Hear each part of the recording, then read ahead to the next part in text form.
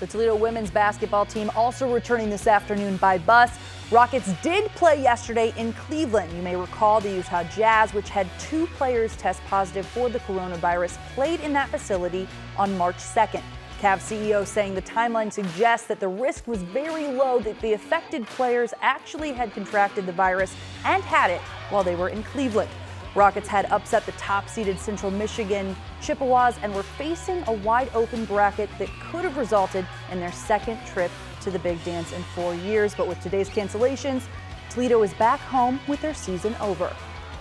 It's been very surreal. Uh, this is such an unprecedented event, you know, and, and it's been snowballing.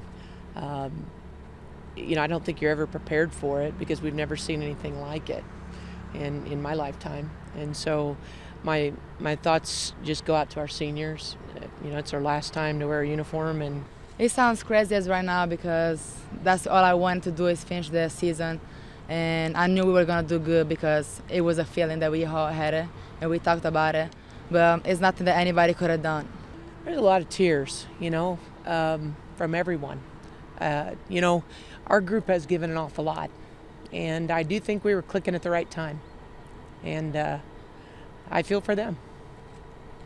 I think it's really tough, especially for us senior, to um, come off a really good game. We were feeling good, and we thought this was gonna be the beginning of something, and then unluckily ended in a different way. But I'm still proud of everything we have done. We have accomplished a lot, and people didn't know that. so I'm proud, and I'm happy that we ended on a good note. What's really hard too is just I think with this team was peaking at the right time. We had been through so much adversity and they stuck together. Um, they could have easily, you know, been disgruntled and argued, and as we see many people do when they go through adversity, and yet they stayed extremely strong. Uh, I think our chemistry shined through. This group really loved each other. They care about each other, and we still found a way to play really well. To knock off the number one team twice in a week.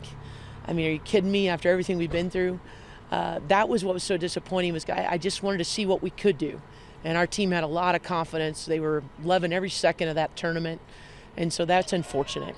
Uh, but there's a lot of stories that are going to be like that in the country, uh, and uh, you know I think we all have to keep the bigger picture in mind. Now, I'm sad for the teams that would have made it for the first time, even if they were just going to play one game. I, I feel for them. I feel for seniors that you know had a chance to it may be experience for the first time or play for a national championship. You know that's experiences they could never have back and we all know there was some pretty incredible teams. You know, we've got a local player who was having a chance as a freshman to play for probably a national championship.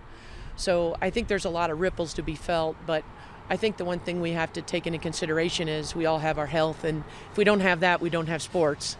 So the most important thing is that we all take precautions to stay safe, and you know, we have to do whatever we have to do, and, and I think those drastic measures are showing just how serious this virus is.